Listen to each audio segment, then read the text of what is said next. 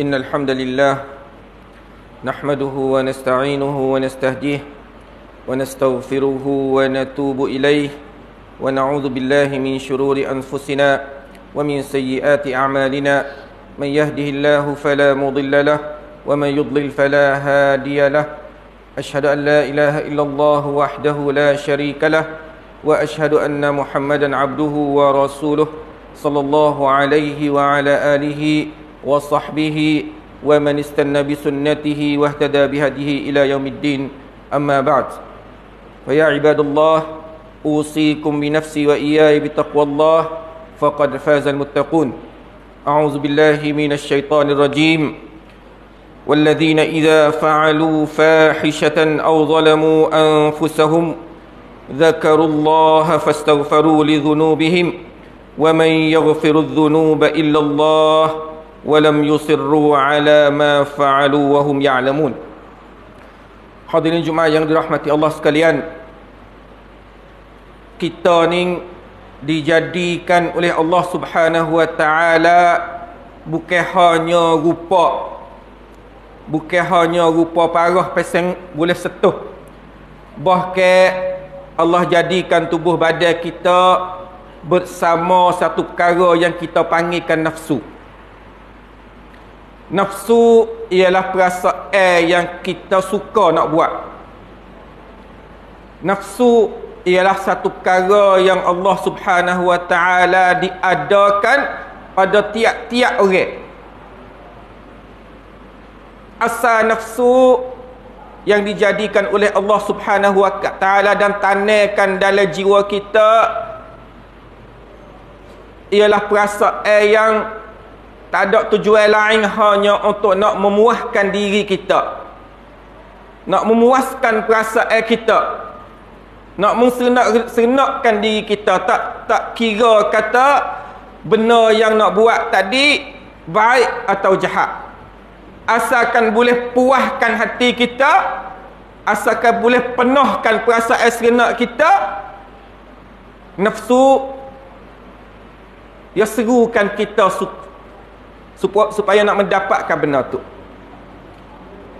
Itulah nafsu yang Allah Subhanahu Wa Taala jadikan pada kita.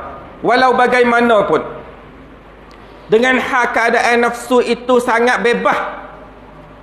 Dalam dia nak mikir, dia perasa nak, dia nak tak kira benda tu molek tak molek, haram tak haram, mudarat orang lain ke tak. Nafsu dia tak kira benda tu. Satu saja yang nafsu dia kira ialah nak memuaskan nak dapatkan kesenakan pada seseorang tua dia tadi. Tu nafsu asal yang Allah Subhanahu Wa Taala jadi. Sampai itulah setengah-setengah orang ni ya top senang ya sambut teh hawa nafsu dia penuh-penuh. Sambut teh seruai hawa nafsu dia penuh-penuh sehingga Allah Subhanahu wa taala sehingga Allah Subhanahu wa taala berkata dalam Quran dia afara'aita man ittakhadha ilahahu hawa? Kamu tak tengok ke hai hamba-hambaku bagaimana mereka yang ambil hawa nafsunya sebagai tuhan dia? Wal iyazu billah apa dikehendaki ambil nafsu dia buat Tuhan dia? Maksudnya apa saja nafsu dia seru dia ikut. Ikut buat. Nafsu dia nak gapa dia tunaikan. Asalkan boleh memuaskan hawa nafsu dia dia tunai dia ikut. Nafsu nak kepada harta dia tak kira cara dapat harta asalkan dapat. Tak kira haram halal asalkan boleh memuaskan nafsu dia? Dia tak cara. Reba tak reba menegak air dengan cara. Tipu tak tipu makan kelo tak makan kelo tak cara asalkan boleh memuaskan hawa nafsu dia dia boleh buat. Hawa nafsu dia nak kepada keserenakan dalam nak main retina nak nak bergawe juga dia tak cara tak cara kata Orang dalam rumah nak kata ganak. Masyarakat nak tengok pasal mana. nak mudarat kepada orang tua mak pak balas mana tak cara. Asalkan boleh puaskan memuaskan hawa nafsu dia dia tunai. Tu dia hakikat nafsu. Hakikat orang yang Allah Subhanahu wa taala berkata afara'aita man ittakhadha ilahahu hawa? La ilaha illallah. Itulah yang kita takut bila nafsu kita menjadi tuhan kepada tuan dia itulah Allah Subhanahu wa taala berkata innan nafsa la ammaratum bisu. Sesungguhnya nafsu seseorang itu yang tak suruh benda lain bahkan ia suruh benda-benda yang nak mudarat benda-benda yang jahat. Oleh itu hadirin Jumaat yang dihormati Allah sekalian kita kena kenal nafsu kita ni dalam kita nak nak tahankan nafsu kita untuk nak dapat keredaan Allah Subhanahu wa taala kita perlu kenal pasal mana nafsu yang Allah Subhanahu wa taala wi pada kita? Pas bagaimanakah kita nak saitar nak kuapkum nafsu yang Allah Subhanahu wa taala itu bagi pada kita? Tak lain tak bukan nafsu yang Allah Subhanahu wa taala tanah pada kita nafsu yang ada segala perasaan nak buat kejahatan satu cara saja nak menahankan nafsu itu ialah satu perkara yang Allah Subhanahu wa taala wi pada kita iaitu iman. Iman. Bila iman ada pada seseorang itu iman boleh menahankan nafsu yang tidak ada limit. Nafsu yang tak ada ada sakat tak ada ada break perkara yang nak boleh break nafsu dia takwi yang jeluh takwi yang melampau ialah iman. Sebab itulah asal nafsunya ammaratum bisu. Itu bahagian pertama asal nafsunya ammaratum bisu. Dalam surah Yusuf kan? Inna nafsa la ammaratum bisu'i illa man rahima rabbi nak dapat kerahmatan Allah Subhanahu wa taala tak lain tak bukan ia kena melalui iman yang kita ada pada Allah Subhanahu wa taala. Bila seorang itu ditanamkan iman pada dia dan dia mulai beriman pada Allah Subhanahu wa taala ia tukar. Daripada pegang nafsu dia sebagai Tuhan ia klik kembali pada Allah Tangga pertama bila ia beriman pada Allah Subhanahu wa taala bila iman ditanamkan dalam jiwa dia nafsu dia mula berubah. Daripada nafsu ammaratu bisu jadi nafsul lawamah nafsul lawamah balah mana nafsul lawamah dalam surah al-qiyamah Allah Subhanahu wa taala berfirman wala uqsimu bi nafsil lawamah nafsul lawamah tukar daripada ammaratun bisu jadi nafsul lawamah nafsul lawamah ialah nafsu yang ada pertahanan antara jahat nak buat kejahatan dan nak menahankan daripada kejahatan yang hawa nafsu tadi duduk duduk riak rom itu dia hakikat orang beriman kebanyakan orang beriman dia balas tu. Nafsu lawamah ni kadang-kala dia dia Allah kepada nafsu dia. Dia buat jahat. Tapi setelah mana dia ingat pada Allah Subhanahu wa taala dia segera kembali dan tinggal kejahatan yang mana nafsu dia tadi seru. Sebab itulah Allah Subhanahu wa taala cerita kepada orang balas ni ni orang beriman balas ni ni ada iman dah tapi kena dok lawan dengan nafsu dia lagi Nafsu masih lagi nak kepada apa saja yang nak memuaskan diri dia.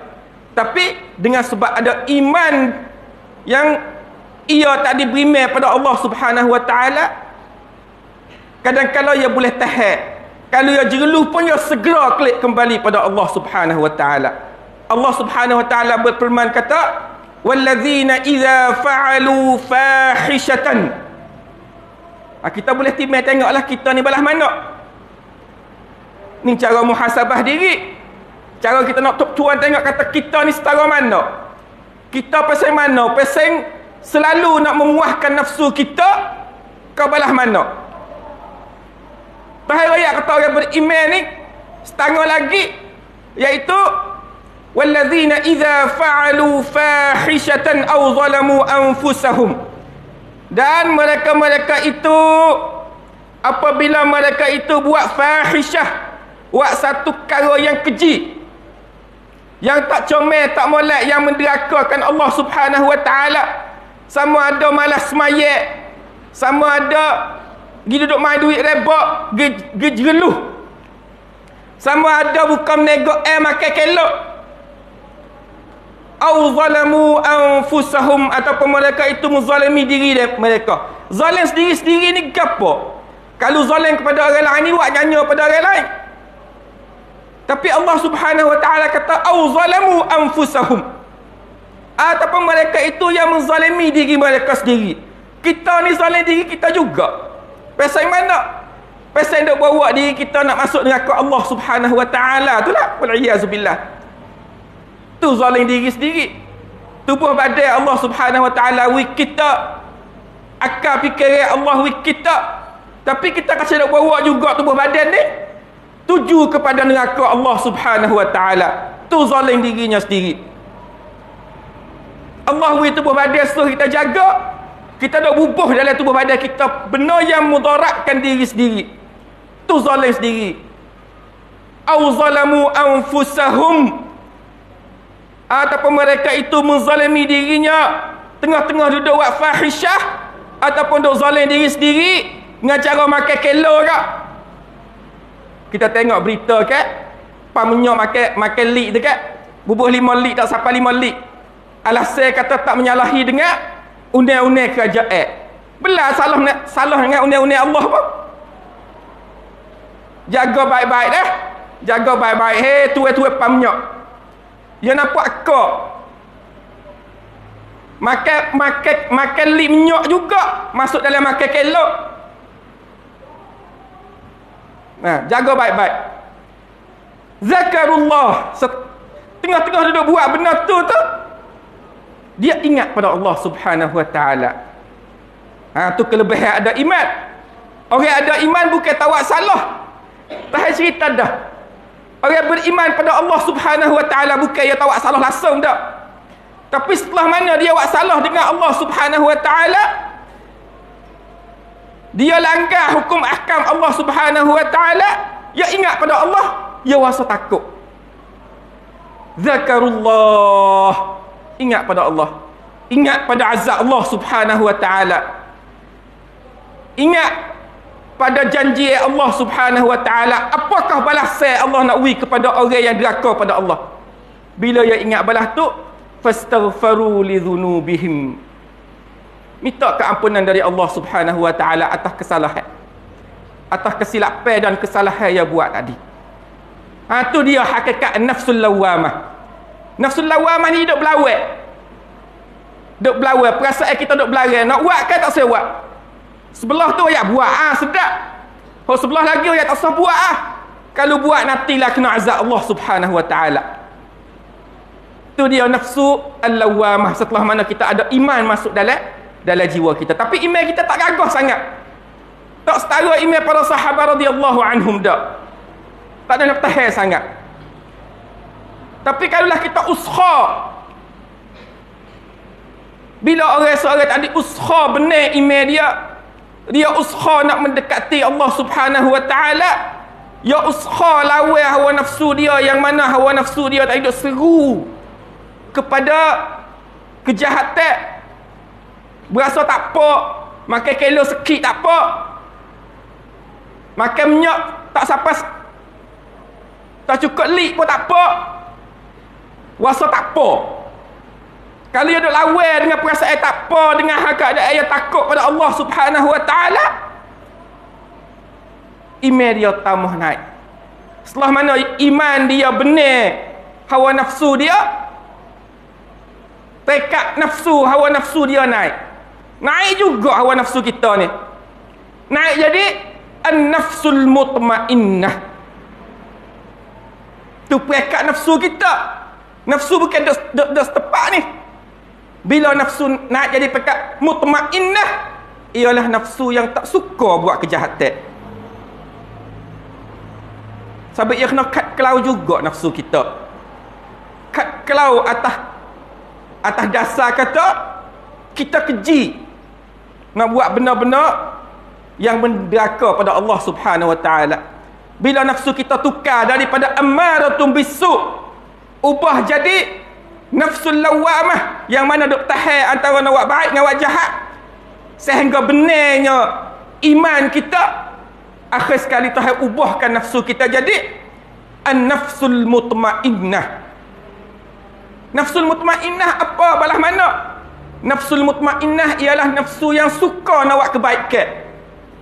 Tak suka kepada kejahatan. Dengar orang tina orang yang teduk sekali wasa keji Dengar masalah reba wasa tak moh. Dengar masalah makan kelo wasa takut. Apa saja kejahatan yang dengar dia tak suka nak buat. Tu dia nafsul mutmainnah. Yang dia suka ialah usaha nak cari keredaan Allah. Oleh itu Allah Subhanahu wa taala seru kepada nafsul mutmainnah. Allah kata, "A'udzu billahi minasyaitonir rajim. Ya ayyatuhan nafsul mutmainnah." Masya Allah Tuhan panggil Tuhan seru. Seru kepada nafsul mutmainnah Kalau kita boleh sampai situ. Ya ayyatuhan nafsul mutmainnah. Hei hawa-hawa nafsu-nafsu yang Mutmainnah yang tenang. Tenang dalam suka nak Nak cari keredaan Allah. Irji'i ila rabbiki radiyatan mardiyah. Kembalilah kepada Tuhan kamu dengan hal keadaan Tuhan kamu reda pada kamu. Ah tu nafsu. Nafsu kita boleh ubah. Boleh tukar daripada nafsu yang suka nak buat kejahatan. Boleh jadi nafsu yang suka kepada kebaikan. Akhiri nafsu mutmainnah yang suka nak buat kebaikan akan diseru oleh Allah Subhanahu wa taala panggil klik kembali pada Allah Subhanahu wa taala dengan hal keadaan.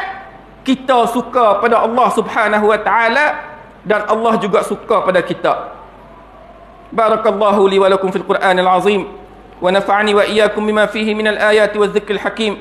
Wa taqabbala minni wa minkum tilawatah innahu huwas samiul alim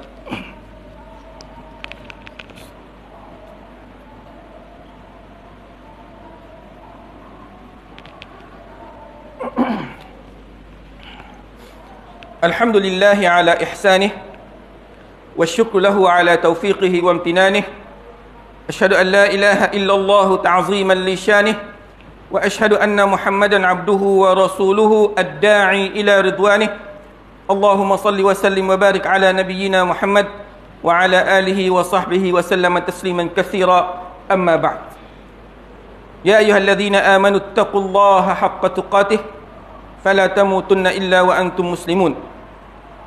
Hadirin Jumaat yang dirahmati Allah sekalian. Nafsu kita ia kena tahan dengan dengan iman.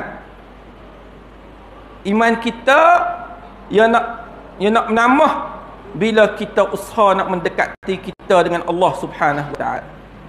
Ia tambah dengan apa saja kebaikan yang kita buat.